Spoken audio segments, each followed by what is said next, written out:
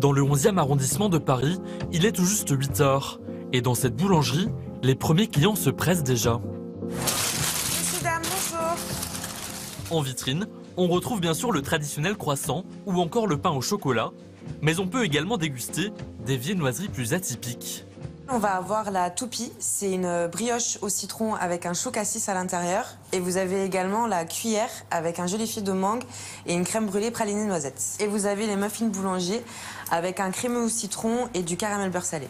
Ici, le classique pain au chocolat est vendu 1,30€ et des viennoiseries plus travaillées jusqu'à 3 euros. Et ça a son succès. Un pain au raisin? Ouais. Est très bon, pas trop gras, au beurre. C'est bon, la freschezza, comme on dit en Italie, c'est fraîche. Ces viennoiseries créatives sont signées Olivier Magne.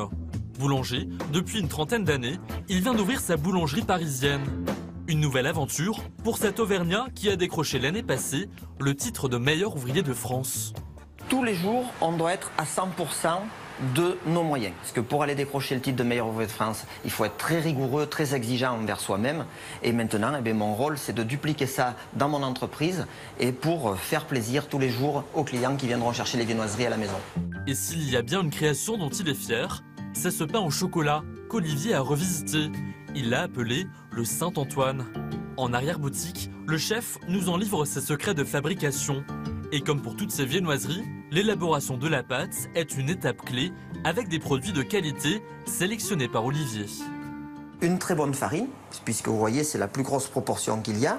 Donc prise dans un moulin familial sur le bassin parisien, dans lequel je vais rajouter un petit peu de beurre, un beurre AOP donc de Poitou-Charentes, euh, du sel, du sucre, de la levure et la touche personnelle de la maison, c'est euh, de rajouter un petit peu de miel à l'intérieur de la pâte qui va apporter un petit goût particulier à ma viennoiserie. Tous les ingrédients sont mélangés lors du pétrissage. Et à la sortie, Olivier vérifie la bonne élasticité de sa pâte. On peut l'étirer sans qu'elle soit cassante. Elle est très souple, très malléable. Voilà, et elle n'est surtout pas poreuse. Ce qui permettra un gonflement assez important au four pour justement favoriser un joli feuilletage. La pâte ayant reposé plusieurs heures, le boulanger peut maintenant laisser libre cours à sa créativité. Pour son pain au chocolat revisité, Olivier mélange deux pâtes différentes. L'une classique, l'autre chocolatée. Et lors du roulage, il s'en amuse en créant un contraste de couleurs. Il y a un petit lamage très fin qui est sur le dessus, tout simplement pour remettre en valeur un petit peu le feuilletage qui est caché sous cette pâte chocolat. Et la première fois qu'on l'a mis en vente au magasin, eh bien, tous les clients ont été émerveillés et m'ont posé la question mais qu'est-ce que c'est ce- cette chose-là? Et bien c'est simplement un pain au chocolat qui est un petit peu attrayant de par son look. Voilà. Et pour un look totalement réussi, le boulanger doit rester vigilant lors de la dernière étape, celle de la cuisson. Une cuisson à la minute près.